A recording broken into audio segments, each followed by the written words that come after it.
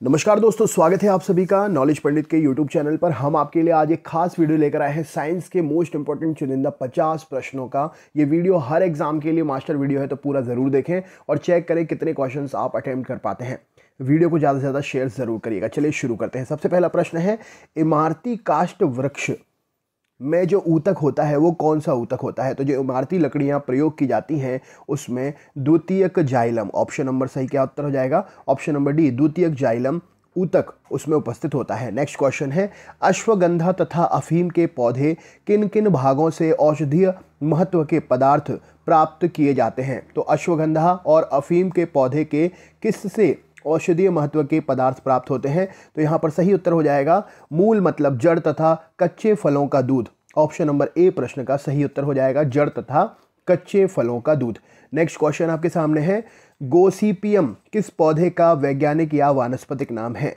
गोसीपियम किस पौधे का वैज्ञानिक तथा वानस्पतिक नाम है? तो यहाँ पर सही उत्तर हो जाएगा, कपास। जी हाँ दोस्तों ऑप्शन नंबर सी रुई। कपास का वैज्ञानिक नाम है गोसीपियम अगला क्वेश्चन है, मधुमक्खी पालन के लिए सर्वाधिक उपयुक्त तो समझी जाने वाली प्रजाति कौन सी है? मधुमक्खी की कौन सी प्रजाति मधुमक्खी पालन में सबसे ज़्यादा प्रयोग की जाती है? तो यहाँ पर सही उत्तर हो जाएगा, ए, मैलीफेरा। ऑप्शन नंबर सी, प्रश्न का सही उत्तर हो जाएगा। नेक्स्ट क्वेश्चन आपके सामने है, मधुमक्खी के छत्ते में पाई जाने वाली मक्खियों के कितने प्रकार होते हैं? मधुमक्खी के छत्ते में पाई जाने वाली मधुमक्खियों के कितने प्रकार होते हैं? तो यहाँ पर सही उत्तर हो जाएगा, तीन प्रकार होते हैं ऑप्शन नंबर ए प्रश्न के लिए। सही उत्तर हो जाएगा, तीन प्रकार की मक्खियाँ होती हैं। नेक्स्ट क्वेश्चन है, शुद्ध शहद सुरक्षित कितने समय तक रह सकता है? क्या उत्तर हो जाएगा? तो शुद्ध शहद जो है, हज़ारों वर्षों तक यह सुरक्षित रह सकता है। ऑप्शन नंबर सी प्रश्न का सही उत्तर है। नेक्स्ट है, रेशम कीट पालन का प्रचलन सर्वप्रथम किस देश में हुआ माना जाता है? रेशम, कीट का पालन का प्रचलन सर्वप्रथम किस देश में हुआ माना जाता है? तो यहाँ पर सही उत्तर हो जाएगा, रेशम, कीट पालन चीन में सबसे पहले शुरू हुआ माना जाता है। अगला प्रश्न है, प्रत्येक वृक किडनी लगभग एक लाख, एक करोड़ तीस लाख, माफ़ करिएगा, यहाँ पर सही उत्तर हो जाएगा, एक करोड़ तीस लाख वृक नलिकाओं से मिलकर बनी है, जिन्हें हम क्या कहते हैं? तो प्रत्येक वृक यानी कि किडनी लगभग जो है, एक करोड़ तीस लाख वृक नलिकाओं से मिलकर बनी होती हैं और ये सभी जो कहलाती हैं राइट आंसर हो जाएगा इन्हें क्या कहते हैं? तो इन्हें ऑप्शन नंबर सही उत्तर हो जाएगा नेफ्रॉन कहा जाता है। सी प्रश्न का सही उत्तर है। नेक्स्ट क्वेश्चन है, मूत्र अम्लीय होता है, इसका पीएच मान कितना होगा?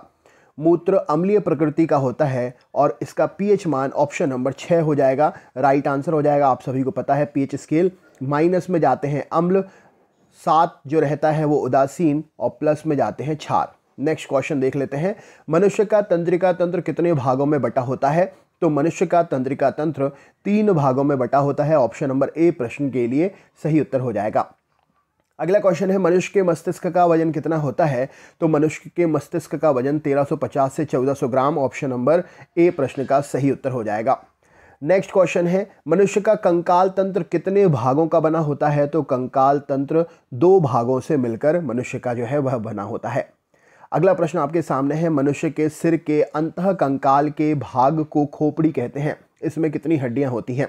तो खोपड़ी में कुल उनतीस हड्डियाँ होती हैं। राइट आंसर हो जाएगा ऑप्शन नंबर उनतीस हड्डियाँ खोपड़ी में स्थित होती हैं। प्रश्न है, मनुष्य का कशेरुक दंड कितनी कशेरुकाओं से मिलकर बना होता है? मनुष्य का कशेरुक दंड कितनी कशेरुकाओं से? तो यह तैतीस कशेरुकाओं से मिलकर बना होता है। निम्न में से कंकाल तंत्र के क्या काम होते हैं? तो कंकाल तंत्र के काम होते हैं शरीर को कोमल अंगों को सुरक्षा प्रदान करना, शरीर को निश्चित आकार प्रदान करना, पेशियों को जुड़ने का आधार प्रदान करना उपरोक्त सभी प्रश्न का सही उत्तर है। एक वयस्क मनुष्य के शरीर में हड्डियों की कुल संख्या कितनी होती है? तो एक वयस्क मनुष्य के शरीर में हड्डियों की कुल संख्या लगभग 206 होती है। नेक्स्ट प्रश्न आपके सामने है, मनुष्य में बाल्यावस्था में हड्डियों की कुल संख्या कितनी होती है? तो मनुष्य में बाल्यावस्था में हड्डियों की कुल संख्या लगभग 208 होती है राइट आंसर हो जाएगा। मनुष्य के सिर में कुल कितनी हड्डियों की संख्या होती है? तो मनुष्य के सिर में उनतीस हड्डियाँ होती हैं राइट आंसर हो जाएगा। प्रारंभ में रीढ़ की हड्डियों की संख्या कुल कितनी होती है? तो प्रारंभ में रीढ़ की हड्डियों की कुल संख्या थर्टी थ्री होती है राइट आंसर हो जाएगा। विकसित होने पर रीढ़ की कुल हड्डियों की संख्या कितनी होती है? तो विकसित होने पर रीढ़ की कुल हड्डियों की संख्या 26 होती है। विटामिन ए की कमी से होने वाला रोग कौन सा है? तो विटामिन ए की कमी से होने वाला रोग रतौंदी है, जो आँख से संबंधित है। विटामिन बी की कमी से होने वाला रोग कौन सा है? तो विटामिन बी की कमी से बेरी बेरी रोग होता है। विटामिन सी की कमी से होने वाला रोग कौन सा है? तो विटामिन सी की कमी से स्कर्वी नामक रोग होता है। सही उत्तर हो जाएगा। विटामिन डी की कमी से कौन सा रोग होता है? तो विटामिन डी की कमी से रिकेट्स नामक रोग होता है। सही उत्तर हो जाएगा। अगले प्रश्न पर चलते हैं। विटामिन ई e की कमी से होने वाला रोग कौन सा है? तो विटामिन ई e की कमी से होने वाला रोग जनन शक्ति का कम हो जाना ऑप्शन नंबर ए प्रश्न का सही उत्तर है। विटामिन के की कमी से कौन सा रोग होता है? ये बहुत ही इंपॉर्टेंट क्वेश्चन होते हैं। रिस्क पर ये क्वेश्चन गलत होते हैं। एग्ज़ाम में क्योंकि कंफ्यूजन होता है। विटामिन के की कमी से होने वाला रोग कौन सा है? तो रक्त का थक्का ना बनना, ऑप्शन नंबर बी प्रश्न का सही उत्तर हो जाएगा।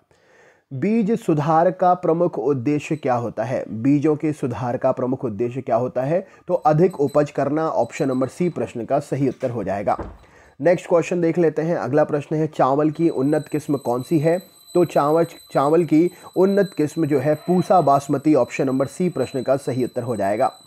पौधों को हाइड्रोजन की प्राप्ति किससे होती है? तो पौधों को हाइड्रोजन की प्राप्ति जल से होती है। ऑप्शन नंबर ए प्रश्न का सही उत्तर है। नेक्स्ट है, शरीर के भीतर रक्त परिभ्रमण में लगभग कितना समय लगता है? तो लगभग तैतीस से, तेईस सेकेंड का समय शरीर के भीतर रक्त परिभ्रमण में लगता है।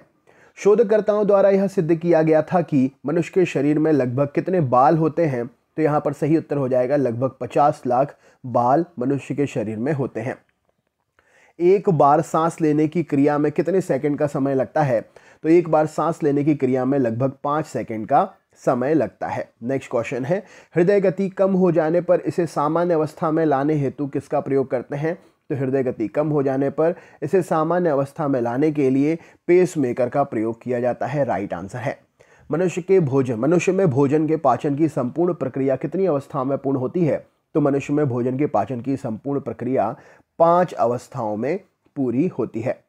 अमाशय में भोजन लगभग कितने समय तक रहता है? तो अमाशय में भोजन जो है लगभग चार घंटे तक रहता है। ऑप्शन नंबर ए प्रश्न का सही उत्तर है। अमाशय में निकलने वाले जठर रस में कौन सा एंजाइम होता है? तो अमाशय से निकलने वाले जठर रस में पेप्सिन और रेनिन दो एंजाइम होते हैं। राइट आंसर हो जाएगा ऑप्शन नंबर सी।